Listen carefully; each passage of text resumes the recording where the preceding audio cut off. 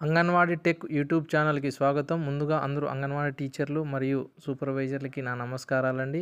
ముందుగా ఈ ఛానల్ ఇంకా సబ్స్క్రైబ్ చేసుకుని వారు ఉంటే వెంటనే సబ్స్క్రైబ్ చేసుకోండి. అలాగే వీడియోని కూడా చివరి వరకు చూడండి. అప్పుడు మాత్రమే మనకు యొక్క కంటెంట్ అంతా పూర్తిగా అర్థమవుతుంది. మధ్యలో కూడా ఎక్కడ కూడా స్కిప్ చేయొద్దు. థ్యాంక్ యూ అండి. అలాగే వీడియో చూసిన తర్వాత మీకు ఏదైనా డౌట్ ఉంటే మీరు కామెంట్ రూపంలో తెలియజేయండి ప్రతి ఒక్కరూ కూడా. Thank you. ముఖ్యంగా మనము ఈ వీడియోలో మనందరికి తెలిసిందే అండి మనం మన డిపార్ట్మెంట్ వారు టీహెచ్ఆర్ ఎఫ్ఆర్ఎస్ యాప్ని అయితే తీసుకురావడం జరిగింది. ఈ యొక్క యాప్ని మన ఆఫీస్ ప్రొవైడ్ మొబైల్స్లలో ఈ యొక్క యాప్ రావడానికి మనము ఆఫీస్ మొబైల్ని అయితే మనము అప్డేట్ చేసుకోవాల్సిన అవసరం అయితే ఉందండి. ఆ ఎండిఎంఏ అనే సాఫ్ట్వేర్ని మనం ఏ విధంగా మొబైల్లోనే సా అప్డేట్ చేసుకోవాలనే విషయాన్ని మనం ఇప్పుడు తెలుసుకుందామండి. ఈ యొక్క ఏదంటే ఈ టీహెచ్ఆర్ ఎఫ్ఆర్ఎస్ యాప్ని అయితే మనము ఆఫీస్ మొబైల్లో వచ్చే విధంగా మనము ఇప్పుడు చేసుకోవడానికి మనమైతే ఈ వీడియో చేస్తున్నామండి. ఈ వీడియోను చివరి వరకు చూడండి. Thank you. ముఖ్యంగా మన డిపార్ట్మెంట్ వారు చెప్పడం ఏంటంటే మనం ఆఫీస్ నుంచి ప్రొవైడ్ చేసినటువంటి డిపార్ట్మెంట్ మొబైల్స్లలోనే మనము టీహెచ్ఆర్ ఎఫ్ఆర్ఎస్ని ఎక్కువగా మనం చేయాల్సి ఉందన్నమాట. పర్సనల్ మొబైల్స్ను ఎక్కువ యూజ్ చేయొద్దని కూడా చెప్పారు. మనం ఆఫీస్ మొబైల్స్లలో మాత్రమే మనం చేసుకోవాలని చెప్పి చెప్పారు. సో కాబట్టి దానికి మనము ఇప్పుడు ఎండిఎం సాఫ్ట్వేర్ని ఆఫీస్ మొబైల్లో ఏ విధంగా అప్డేట్ చేసుకోవాలనేది ఇప్పుడు మనం అయితే స్టెప్ చేసుకుందామండి. తెలుసుకుందాం. ఇప్పుడు మనం ఆ ఆఫీస్ మొబైల్ని రీసెట్ చే ఏ విధంగా చేసుకోవాలనే ప్రాసెస్ని అయితే ఇప్పుడు మనం తెలుసుకుందామండి. ఈ వీడియోని చివరి వరకు చూడండి. మొట్టమొదటిగా మనం ఆఫీస్ మొబైల్ను తీసుకున్న తర్వాత మనం ఏం చేయాలంటే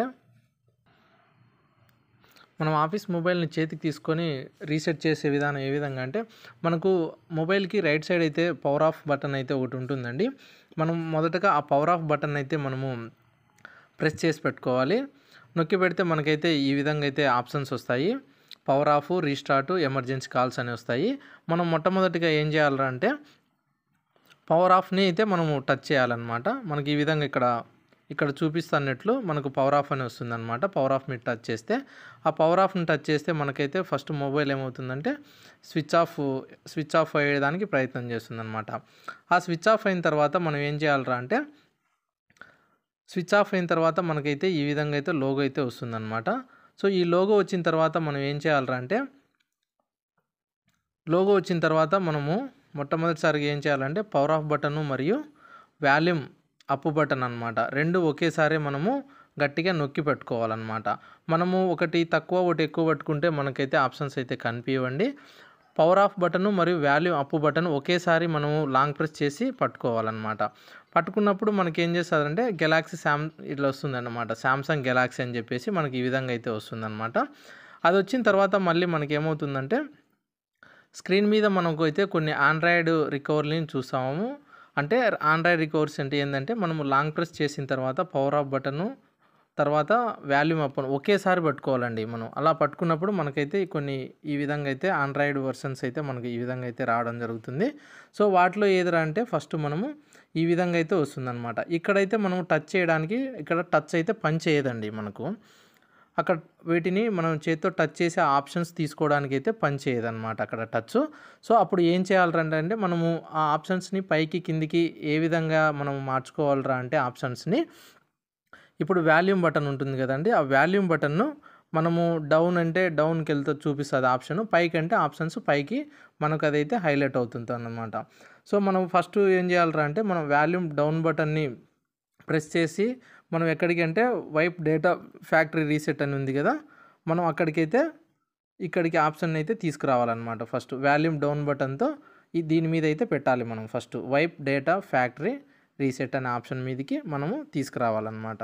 తీసుకొచ్చిన తర్వాత మళ్ళీ ఏమవుతుందంటే తర్వాత ఇక్కడ వచ్చేసి మనకు ఇది ఐదో ఎంపిక అంటే ఇక్కడ ఐదో ఆప్షన్ మీదకి మనమైతే తీసుకురావాలి అనమాట తీసుకొచ్చిన తర్వాత అది కరెక్ట్ అనుకున్న తర్వాత అంటే మనం ఐదో ఫ్యా wipe data or factory reset అని ఉంది అక్కడ నిర్ధారించుకున్న తర్వాత మనం ఏం చేయాలంటే మనము పవర్ ఆఫ్ బటన్ ఉంటుంది కదండి ఆ పవర్ ఆఫ్ బటన్ అయితే ప్రెస్ చేయాలి. దాని మీద పెట్టి ప్రెస్ చేసిన తర్వాత మనకైతే ఈ విధంగా అయితే వస్తుందన్నమాట. మళ్ళీ క్యాన్సల్ ఫ్యాక్టరీ డేటా రీసెట్ అని చెప్పి వస్తుంది. మనం ఏం చేయాలనుకున్నాం? ఫ్యాక్టరీ డేటా రీసెట్ చేయాలనుకున్నాం కాబట్టి ఇక్కడ దీని మీద అయితే మనము టచ్ చేయాలన్నమాట.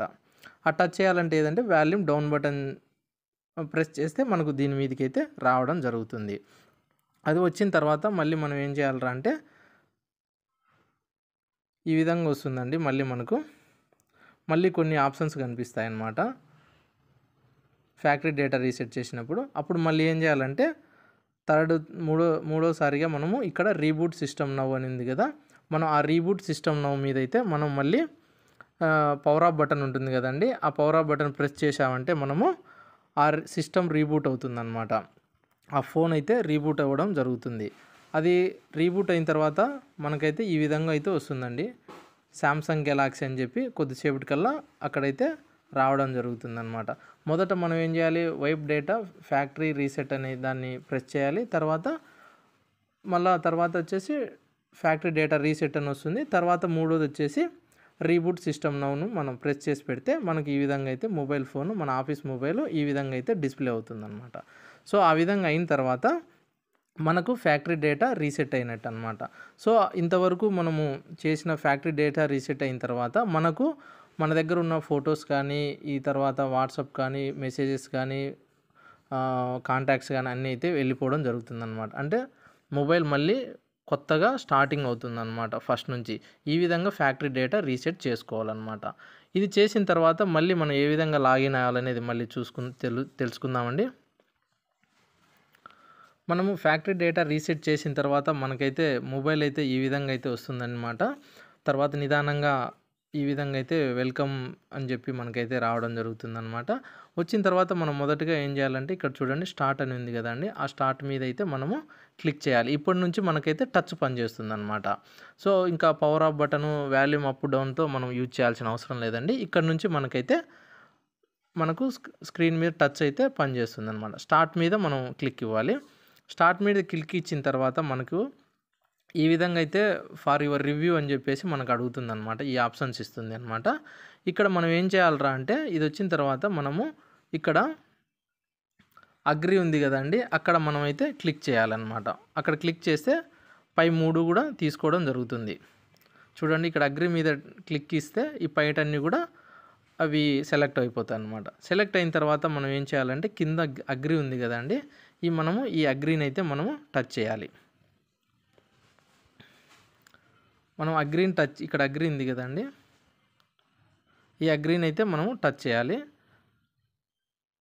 టచ్ చేసిన తర్వాత మనకు నెక్స్ట్ మనకు మొబైల్లో ఈ విధంగా మన ఆఫీస్ మొబైల్లో ఈ విధంగా వస్తుంది.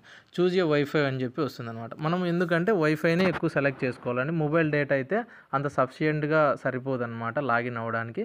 సో మనకు ఇళ్ళల్లో మనకు వైఫై కానీ ఉంటేనా ఆ వైఫైలో చేసుకుంటే మాత్రం మనకు చాలా ఫాస్ట్గా అయ్యేదానికి అవకాశం ఉందన్నమాట. ఎటువంటి ప్రాబ్లం కానీ తర్వాత డిలే కానీ కావకుండా అందుకోసం అనేసి వైఫై నెట్వర్క్ను ప్రిఫర్ చేస్తారనమాట సో మనం ఇట్లా వైఫై తీసుకొని వైఫై సెలెక్ట్ చేసుకున్న తర్వాత మనకు మీ యొక్క వైఫై యొక్క పాస్వర్డ్ని అయితే మనం ఇక్కడ ఎంటర్ చేయాలన్నమాట.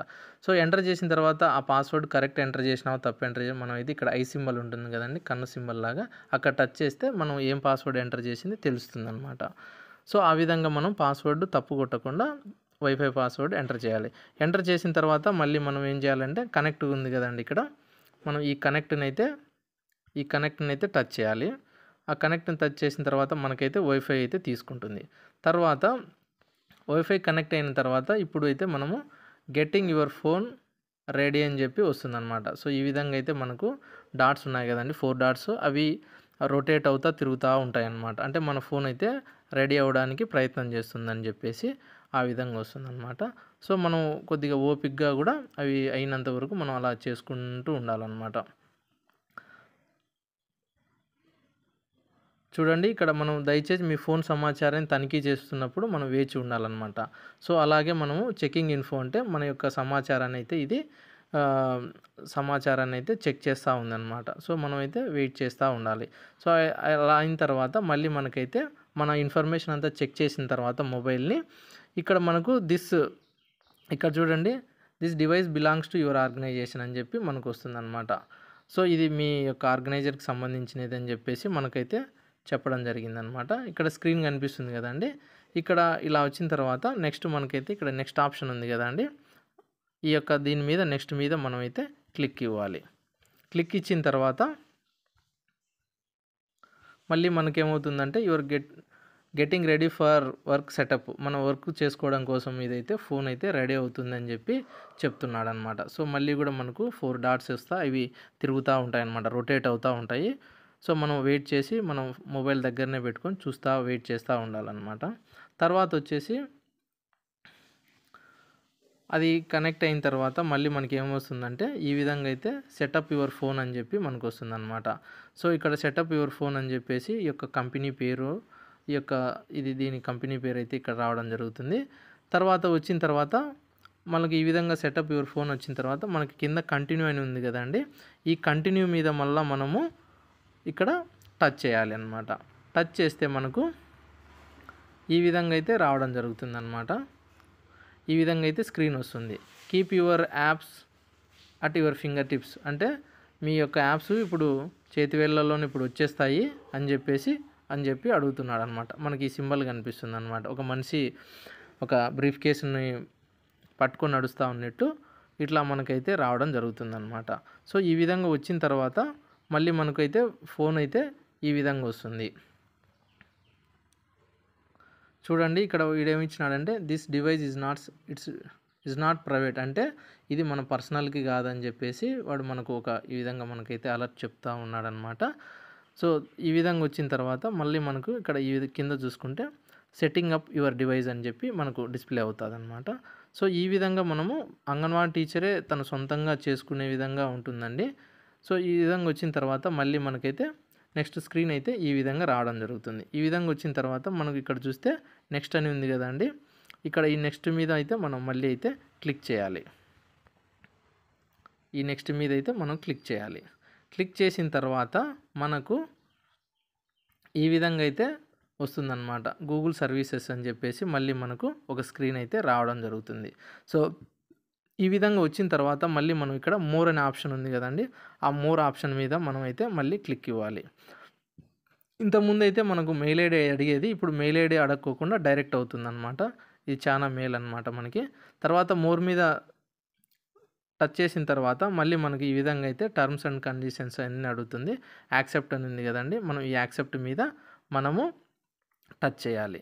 సో యాక్సెప్ట్ మీద టచ్ చేసిన తర్వాత మనకు ఫోన్ మళ్ళీ అయితే మన ఫోన్ డివైస్ అయితే అప్డేట్ అవుతుందన్నమాట. సో అప్డేట్ అయ్యేటప్పుడు మనము కొంచెం ఓపిక్గా పేషెన్స్గా మనం అయితే వెయిట్ చేయాలి. మళ్ళీ ఈ ఫోర్ డాట్స్ అనేటివి రొటేట్ అవుతూ ఉంటాయి. అయిన తర్వాత రిజిస్టరింగ్ డివైజెస్ అని చెప్పేసి మళ్ళీ మనకు అవుతుందన్నమాట. అంటే మన యాప్స్ అన్నీ రిజిస్టర్ అవుతూ ఉంటాయి అన్నమాట అప్పుడు మనం ఏం చేయాలో అవసరం లేదు. సైలెంట్గా మనము కామ్గా చూస్తూ ఉండాలన్నమాట. సో అది అయిన తర్వాత మళ్ళీ మనకు ఈ విధంగా అయితే వస్తుందన్నమాట. ఎక్స్పీరియన్స్ శాంసంగ్ సర్వీసెస్ అని చెప్పేసి ఇక్కడ మనకైతే రావడం జరుగుతుంది. ఈ మనం ఇక్కడ ఏం చేయాలరా అంటే ఇక్కడ అగ్రి మీద మనమైతే క్లిక్ చేయాలన్నమాట. ఇక్కడ అగ్రి అని ఉంది కదండి. ఈ అగ్రి మీద అయితే మనము ఇక్కడ క్లిక్ చేయాలి. క్లిక్ చేసిన తర్వాత మళ్ళీ మనకు ఈ విధంగా అయితే రీఫ్రెష్ అని చెప్పేసి అయితే మనకు వస్తుందన్నమాట. ఇలా ఒక ఒక పర్సన్ ఈ విధంగా మనకు ఇక వైఫై సింబల్ ఈ విధంగా అయితే వస్తుంది అనమాట ఇదేంటంటే మీరు వెయిట్ చేయండి అనమాట అంటే మన ఫోన్ అయితే సెటప్ చేయబడతా ఉంది కాబట్టి వైఫైతో మీరైతే వెయిట్ చేయమని చెప్పి మనకు వస్తుందన్నమాట ఇలా వచ్చినప్పుడు మనం ఏది మళ్ళీ కట్ చేయడం కానీ బ్యాక్ బ్యాక్ వెళ్ళడం కానీ చేయకూడదు.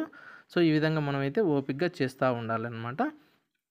చేసిన తర్వాత మనకు మొట్టమొదటగా మనకు ఇమీడియట్గా మనకైతే ఇలా ఈ విధంగా అయితే రావడం జరుగుతుందన్నమాట యాప్స్ ఫస్ట్. ఈ యాప్స్ అయితే ఫస్ట్ ఎంటీగా ఉంటాయి అంటే ఒక ఎంటీ లాగా కనిపిస్తాయి అన్నమాట బ్రీఫ్ కేస్ లాగా.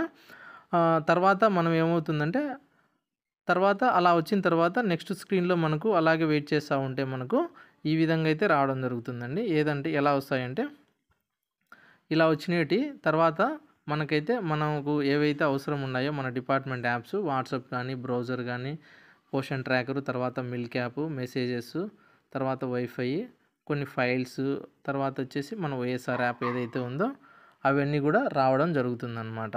సో మనం చేయాల్సింది ఏదంటే మనం ఓపిక్గా నిదానంగా వైఫై కనెక్ట్ చేసుకొని ఈ విధంగా అయితే మనము చేసుకోవాలన్నమాట. ఈ విధంగా అయితే మనం ఖచ్చితంగా మన మొబైల్ని అయితే అప్డేట్ చేసుకోవచ్చు అండి సింపుల్గా. ఇంతకుముందు అయితే మనకు మెయిల్ ఐడి కొన్ని టర్మ్స్ అండ్ కండిషన్స్ ఎక్కువ అడిగేదన్నమాట. అప్పటికంటే ఇప్పుడు చాలా ఈజీగా మనమైతే సింపుల్గా మన ఫింగర్ టిప్స్తోనే చేసేసుకోవచ్చు. ఈ వీడియోని చివరి వరకు చూసినందుకు ధన్యవాదాలండి. అలాగే మీ తోటి అంగన్వాడీ టీచర్లకు కూడా మీరు ఈ వీడియోని షేర్ చేయండి. మరియు అలాగే వీడియో నచ్చినట్లయితే లైక్ చేయండి. తర్వాత మీకు ఏదైనా డౌట్ ఉంటే మళ్ళీ కూడా మీరు కామెంట్ రూపంలో మీ యొక్క అమూల్యమైన సలహాలని అయితే అక్కడ కూడా పెట్టండి. Thank you. Thank you so much అండి.